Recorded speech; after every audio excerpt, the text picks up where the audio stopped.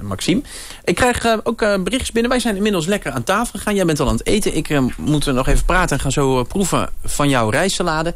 Um, en Isabel vraagt Jil Schimmel... wat vind je van vleessurrogaten zoals de vegaslager? Um, nou, toevallig test ik iedere woensdag op mijn blog uh, een vleesvervanger uit. Dat kan uh, zijn van Tifo, van de vegetarische slager, van Kworn. Ik test gewoon alles wat ik in de supermarkt vind. Wacht, wacht, wacht, ik ben geen vegetariër, dus je moet mij al die dingen die voorbij komen. Zijn dat merken? Ja, Tifo, Kworn, vegetarische slager zijn allemaal merken die oh, okay. vleesvervangers maken. Dus van die soja-eiwit varianten. -huh. um, ik test ze allemaal. Soms vind ik ze lekker, soms vind ik ze minder lekker. Ik bekijk ze op smaak, structuur, voedingswaarde... Um, ik vind het ook zonde als die dingen enorm veel calorieën bevatten. Want dat is gewoon onnodig. En, en de hele gedachte erachter dat je, dat je een vleesvervanger gaat zoeken. Want waarom zou je er eigenlijk na gaan zitten maken?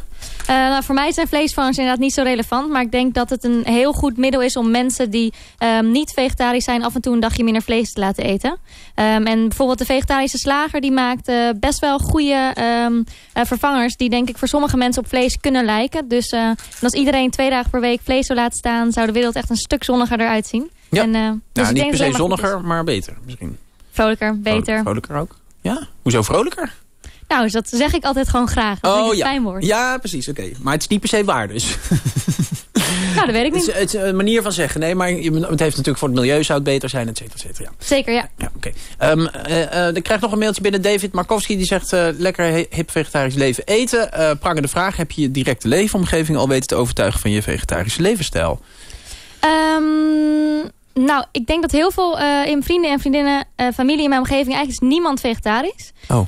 Um, maar bijna iedereen die eet heel regelmatig vegetarisch. En heel veel mensen die eten bij mij met liefde vegetarisch. Ik heb wel eens vrienden lastiggevallen met een zeven gangen groen vegetarisch menu.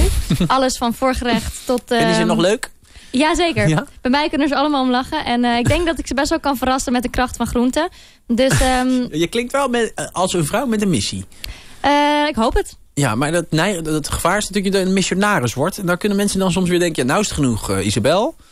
Um, nee, want op mijn blog, iedereen mag komen. Vleeseters, viseters, het maakt me niet uit. Ik denk dat iedereen kan er een klein stukje uithalen. Ook mensen die dol zijn op squats. Zo heb ik voor iedereen um, nou, iets te bieden. En die, iedereen moet op zijn manier zien. Ja, oké, okay, oké. Okay. Nou, um, als er nog meer vragen zijn aan Isabel, dan kun je mee. De windvriet.radio6.nl of anders even een berichtje via de Radio 6 app. Hè. Dat kan ook, die kun je ook inspreken. Ik zit nog steeds te wachten op de allereerste ingesproken uh, vocale uh, uh, bericht die binnen kan komen via de app. Ik ga uh, de chef special van vandaag draaien. Dat is een plaatje dat past bij het eten. zoals duidelijk is, we hebben een rijstsalade en daar zit een, een, een yoghurt bij. Een speciale yoghurt, namelijk geitenkaasyoghurt. En er is daar de band, de Natural, Natural Yogurt Band. Ken je die? Nog niet, dat ga ik nu leren kennen. Ja, en ik ken het ook niet eerlijk gezegd. Maar we hebben het net gevonden. Eastern Promise, lieve mensen. Fijn, gek plaatje. En we gaan aan tafel, aan tafel. Smakelijk eten.